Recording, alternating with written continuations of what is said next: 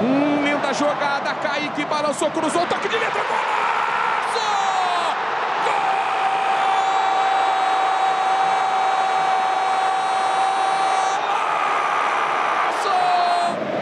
Antecipação agora do Vitor Mir. Vem pro cruzamento na área que tapa, Arthur dominou, girou, bateu! Gol! Gol de centroavante! Nesse toque de bola, mas com as aproximações consegue envolver. Ó, e vai chegando bonito o Breno que fita, cruzamento mais um dele! Arthur Souza! Gol!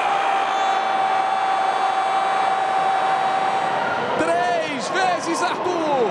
Três pro Corinthians, zero pro Novo Horizontino,